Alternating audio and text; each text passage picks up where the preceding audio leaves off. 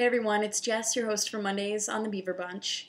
And this week we're talking about sexual liberty at LGBTQ events. And the person who wrote in has a bunch of questions uh, that we're going to try to answer. Um, I don't know that I'm going to be able to get to every single question, and I don't know that I'm going to be able to elaborate or um, discuss everything that you guys might hope that I'm going to discuss.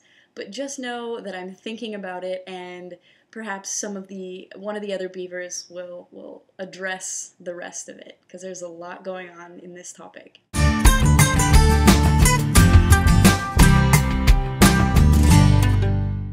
This person wrote in and they had questions about why why there is such the need for sexual liberty at LGBTQ events. And you know what you know what they're talking about. I know I know what they're talking about.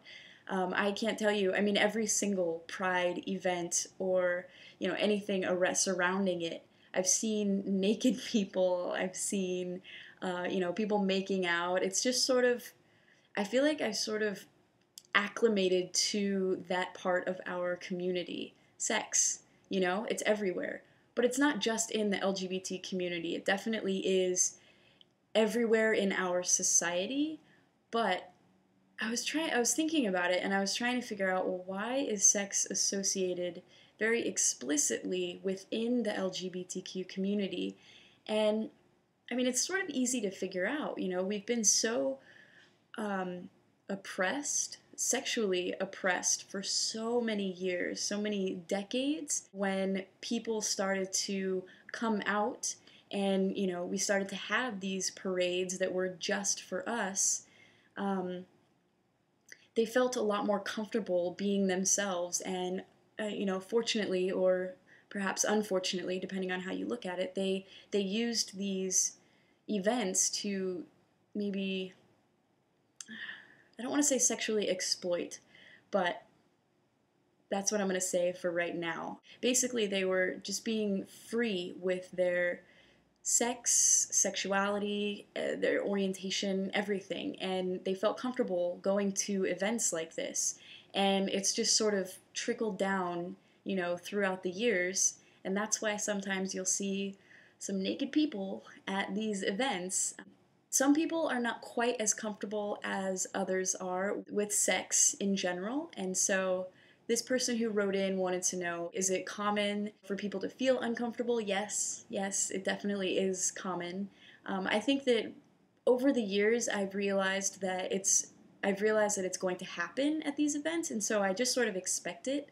Um, if someone is comfortable enough in their own skin to to to be like that, to be naked, to be expressive in that way, then you know. But there's also there's also the other side to this situation, which is um, I feel like our generation is now trying to pull away from this sex identified community you know? We're not we're not sex. We're not all about sex. It's definitely something that i feel like we need to overcome. Um, and if you guys i talked to mary about this a little bit so some of this i, I took from our conversation and, and what she had suggested. But have you guys ever heard of like um, affection orientation instead of you know sexual orientation? Um, I sort of like that, you know. I, I like to picture people holding hands, not like I don't know, going at it in a bathroom stall or something. Um, not that that's what I think about, but who knows? Um, I think it's important for us to to take the you know take sex out of everything that we do, and also when we're talking about marriage, instead of saying same sex marriage, we've also changed it to marriage equality. I think that you guys sort of get the gist. I hope that I was able to provide some answers for some of you, and I, I hope that the rest of the beavers can, you know, fill in the gaps. Before I go, check the description because I'm going to put a link up to a video for our friend Chazzy's brain cancer walk that we did on Saturday morning. You guys are awesome. We've been getting so many letters and donations and anything. If you guys don't have anything to donate, you can just send a letter, anything like that, and, and it's going right to to Charissa. So Um, thank you so much for all of your help. We, we really appreciate the positive thoughts. Um, she's doing great. We're super proud of her. And uh, that's it. Thank you. You guys are wonderful. And I hope you have a really great week. And I'll talk to you guys next Monday. Bye, guys.